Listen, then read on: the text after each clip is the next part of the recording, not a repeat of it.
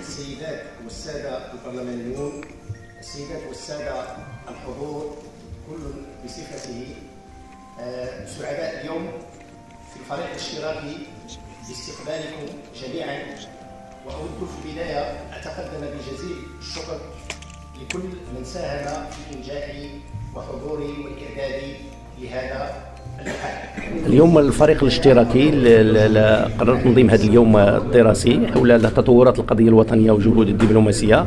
المكتسبات وسبل الترصيد الغايه من تنظيم هذا اليوم الدراسي هو الاستحضار مع جميع الفاعلين اللي مدعوين اللي هم من من من, فاعلين مجتمعيين يعني المجتمع المدني من النقابات من البرلمانيين بطبيعة الحال والفرق.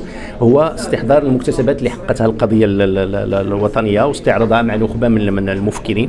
وتطورات اللي عرفها الموقف الدولي سواء في على مستوى أوروبا على مستوى إفريقيا على مستوى أمريكا اللاتينية. ثم من خلالها أيضا استعراض الجهود اللي كتقوم بها الدبلوماسية الموازية الدبلوماسية البرلمانية الدبلوماسية من خلال الأحزاب السياسية الدبلوماسية والجهود اللي كيقوم بها المجتمع المدني. آه، كل هذا من الغاية منه ترصيده توضيحه يعني الوقوف عنده بشكل آه، كبير. ونشوفوا التراكمات ولكن من خلاله خلق واحد الخطة جماعية للعمل المشترك.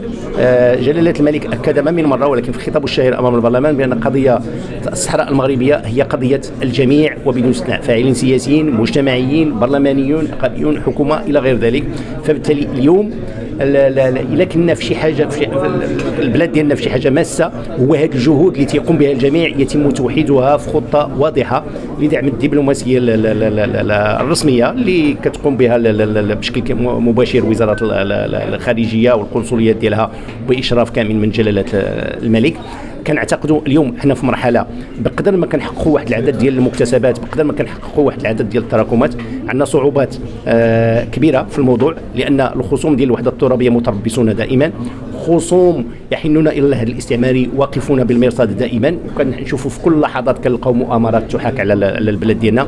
فالمواجهة ديالها لن تكون إلا بتوحيد الصف على الموضوع إجماع وطني شامل حول الموضوع اللي بإمكانه إفشال كل هذه المخططات.